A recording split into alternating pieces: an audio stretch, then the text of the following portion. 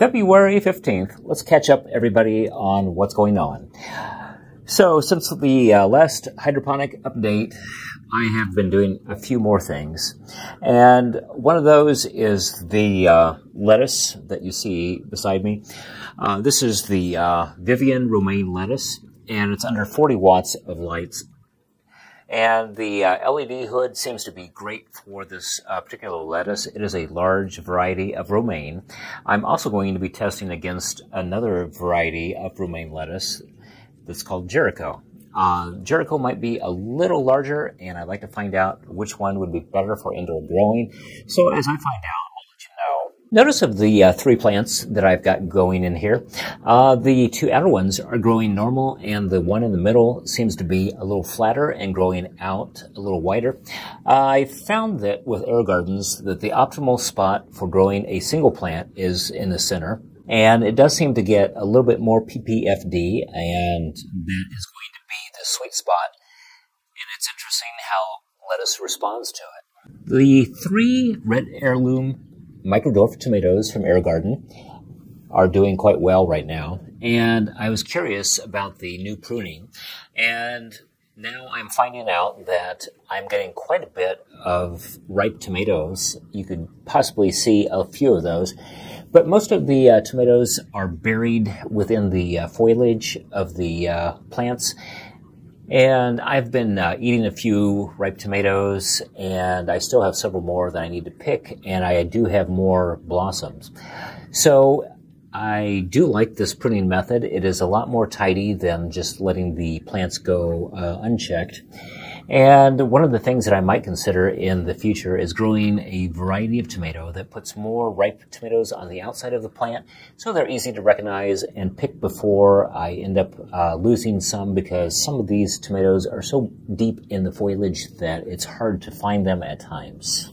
The Numex Easter pepper plants, which are ornamental but also edible, are doing quite well. I am finding out that the peppers are coming on in many colors. I've got some ivory, some purple, some orange, and as they go along, they'll actually get red as well. So it's kind of a uh, colorful plant, and I am finding out why they may have called it New Mexico Easter because it's like uh, Easter eggs and there are many colors. Uh, the plant uh, seems to be doing uh, quite well. Three of those in this small tree can garden. It's only um, seven sites and just around uh, 20 plus watts. Doing quite well for me. The Vivian romaine lettuce that I placed into the 50 watt AeroGarden Elite have been growing substantially well and it, it looked like I was getting about uh, 33 Percent more lettuce bulk than what I was getting in the uh, 40 watt AeroGarden.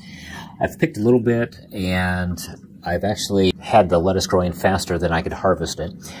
One of the things that I've noticed is that the uh, leaves are getting a little bit of tip burn, and answer to that might be one that lettuce will probably grow a lot better in a typical 40 watt garden than the 50 watt garden.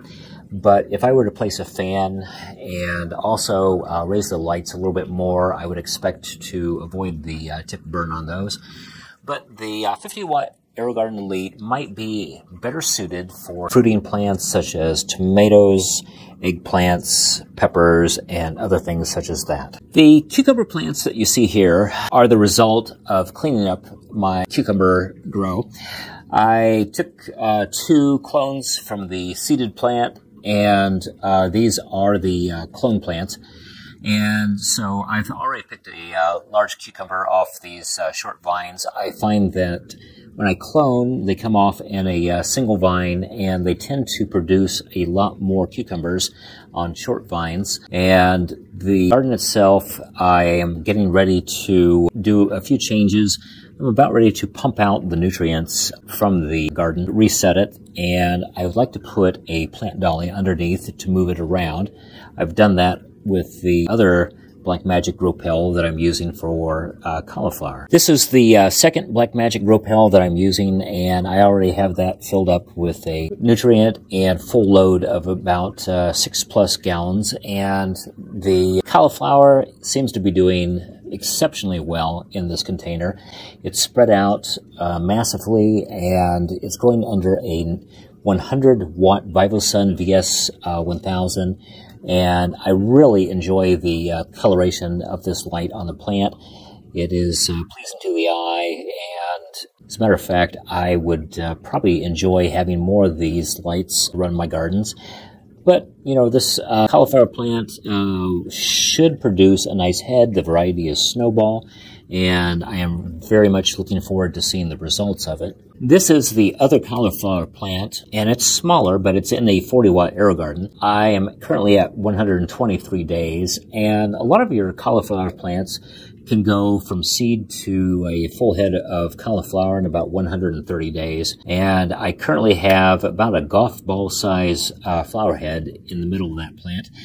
And if that's all I'm going to get, I probably will abandon uh, trying to use uh, gardens for uh, an exceptionally large plant such as cauliflower. AeroGarden sprouts uh, that I have Two of those I've already scrubbed, and currently I am soaking those in 100% white vinegar, trying to get some mineral deposits off.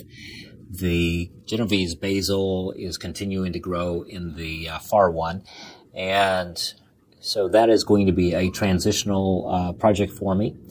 But the results of all this has been that I've uh, jotted down some more notes, but I am looking forward to doing the revamp on my gardens, trying to uh, let everyone know what I'm going to be doing more towards the end of February, hopefully. I appreciate everybody who's been supporting my channel and thank you so much for your help. Uh, be sure to click like and subscribe if you don't mind because it helps support my channel.